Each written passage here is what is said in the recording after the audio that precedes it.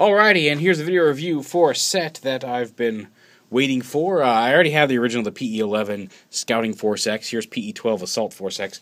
But before we get into the main uh, contents of this box, uh, he does come with a little bonus here, and that is the PE-11 Mini SFX here.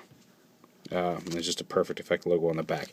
And I've already opened it up. Uh, it's just a little poly bag version of a rather odoriferous, uh, and by odoriferous I mean it's not it's not bad. It just it smells. It smells like plastic uh, and resin or whatever. It's got a very strong reek to it. That'll fade over time, uh, but just know when you open that bag, you're going to go, what, what what what is that?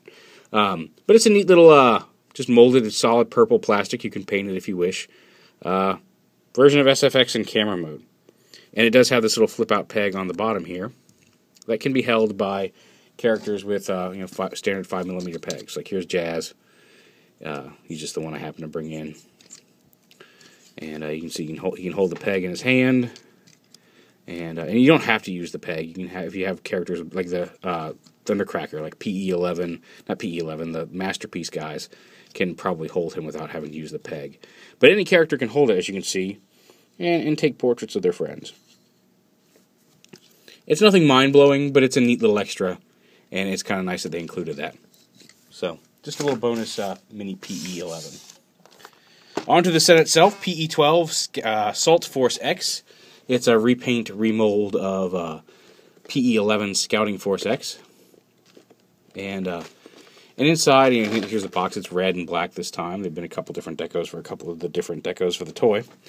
Um, and inside the box, uh, you get this standard assortment of all kinds of crazy accessories, as, as is the Perfect Effect way. Um, and you can see instead of being the green and purple generic guys, uh, like from the cartoon, uh, th these are molded and painted with some really nice metallic paint. It's metallic red, green, blue. Uh, some really nice details on these guys. Nice paint. Uh, remolded heads. They all have individual heads now. Um, but painted to, painted and remolded to look like the original reflector toy versus the cartoon model. Um, it does come with you know it's just instruction sheets, uh, nothing fancy here, just typical how you transform it. Uh, and then this is a little bonus on how to uh, combine the appendix, just how to combine the uh, giant cannon for Cannoneer. But yeah, um, really nice. We'll go ahead and get them out of here. But you get all, all the accessories that came before. You get the uh, the three guns, Go ahead and set those off to the side. You get the three robots themselves. In this case, it's Cannoneer, Cannoneer, Sniper, and Vanguard. Um, and like I said, they're really nice. They got some really nice shiny metallic paint. We'll get into some more the more individualistic qualities on them. Uh, you get the uh, the lens, and it's it's solid black. Uh, here's an instance where I, where I really think the uh, Repro labels silver lens will look really nice here. Uh, and I think some of the repro labels will look really nice on this. Maybe not all of them, but some of them certainly. Um, you get the flash slash shoulder weapons, the uh, riot shield, the stand slash Gatling gun, uh, the camera slash shoulder pieces, and then the extensions for uh, sniper sniper rifle. all stuff that came with earlier versions of the mold. Um, and then the three knives and their holsters.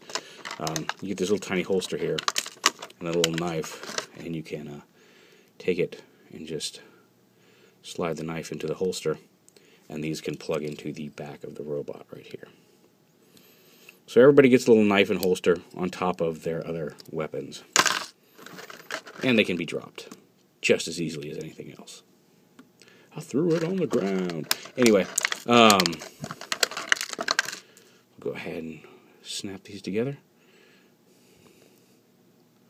Probably the easiest piece to lose if you're not careful is these little, not even the daggers, the little holsters for them. If they go flying and popping off, uh, have fun looking for those. So yeah, now we've got all the pieces out of the tray. Finally, I'll go ahead and snap them together. So yeah, now everybody's armed up with their with their daggers, their their stabby knives, hunting knives, their bowie knives, their whatever they are. Stabbity stab stab McGee. Um, here they are. And you can see on this guy they remolded his head. Let's see if we can get a zoom in here. to have the little button, you know, to represent the little button for the shutter, which is nice. Um, this guy's got a little bit more of a squarish head, and then he's got like the faceplate visor head. And here's here's where he is with his original counterpart. Uh, and all three of them had the head, uh, the kind of generic head like this. So you can see they've got different heads this time around. So we'll go ahead and we'll arm them up with their signature uh, armaments here. We'll go ahead and give him the riot shield. And again, just really nice paint jobs on these guys. The uh, the uh, metallics really shine and really look cool. There we go. Right shield. Right off the bat, we'll go ahead and pop this open. Come on, you. Slide these off. Come on. Oh, come on, you want to do it. You want to slide off. You want to come off there. There you go. Pop these onto his shoulders. Give him his cannons.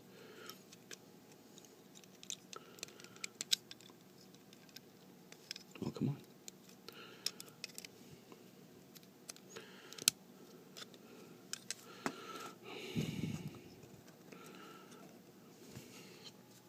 And then you take one of these guns and you attach the uh, extended barrel here as well as the uh, scope. Just snaps right on here on the top. This this can take a little bit of doing to get this to stay on properly. There we go. And then just put that in his hand and now he is all weaponed up. Who's gonna weapon up? When the good guys are around and they want to go to town, who's gonna weapon up the bad guys? Anyway, they'll blow you away. The assault squad, they'll weapon up again. Anyway, PE Assault Force X. Okay, enough. I gotta stop singing the superhero squad song. Okay, so plug that in like that. Da -da -da -da -da. This is a little tighter than previously, but that's okay. Because that's what she said. Anyway, um, put this on like this. Go ahead and his hand around. Give him his giant guns here, which makes him a little front heavy, which is okay because we're Going to even that. We'll go ahead and crack this open. Oh, go ahead and pop these off first. Da, da, da, and give him his backpack o doom. Just like this. And there are various configurations for the gun. I'm not going to go into all of them all this time on him. But yeah, now he's got his weapons. Zoom in. And then he takes the uh, arm shields here. Oops, this way.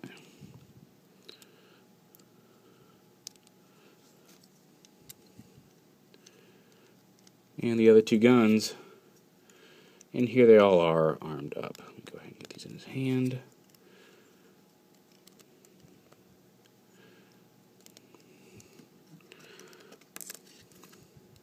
On, Wolfenbot, hold it. Pancakes are dumb. Anyway, so there they are. Uh, all weaponized up. Let's see if we can get a little closer in here. Whoa, look at that. I'm actually not on any uh, medication or anything tonight. I'm just being weird. Yeah, there they are. Um, and again, they look nice. They look cool, uh, and they look different. Let's put them off to the side here. Uh, they're they're definitely distinguished from their originals. Here, here is the same basic molds, the same weapons, and you can you can change the weapons around for different configurations. You don't have to do them exactly the same as the other ones. But just a quick look at them all together.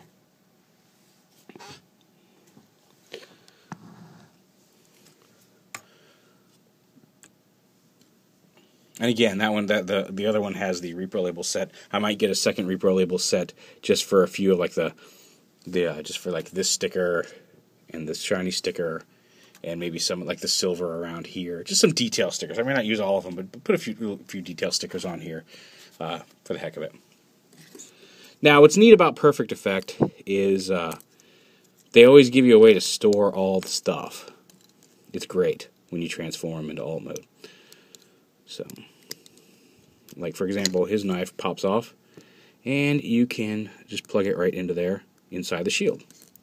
Same with his, we'll go ahead and pop his off and plug it inside the other shield. Just like this. And that will take his gun. So we pulled off his gun. Come out of the closet, Tom Cruise. Anyway, uh, and then you just plug them in here like this. Put that in one way. Put these in the opposite way. Now the original had a, had some issues with the barrel molding, where these would kind of like to sit at an angle. I haven't had that problem with either of the repaints. Um, even even my second version of uh, PE11, the original, didn't have that issue. So, um, okay, clearly I've done these backwards. So we'll just turn them around. There we go. Once those are in, you can close this up around the guns, just like that. And then these little shield panels can plug right in. Come on. There we go. Why are you not snapping it? Should I go over here? There we go. Didn't realize those had a specific side, but apparently they do. So yeah, and then there's the lens assembly. Set that off to the side. I'll go ahead and pop his shoulder pieces off and uh, snap them together. They're going to form the top of the camera here. Pull his gun apart.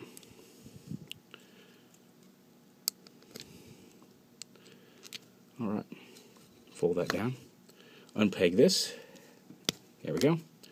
And then we're going to take his shoulder guns off.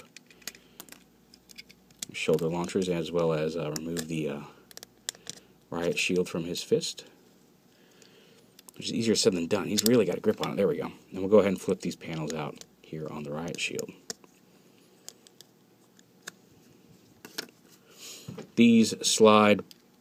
You want to have this tab in the rear, the orientation of the, you want the silver in the front, like that. And like that. Fold this up, flip that closed, and there is the flash. Uh, we'll take his knife off, and it's going to peg right up in here into the top of the shield. And take a minute to get this lined up since it is a little tiny tab in there.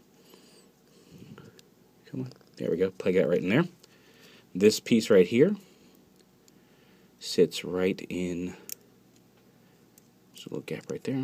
Just peg that in right that. And then we take this and just set it right in here like like this. Flip it over.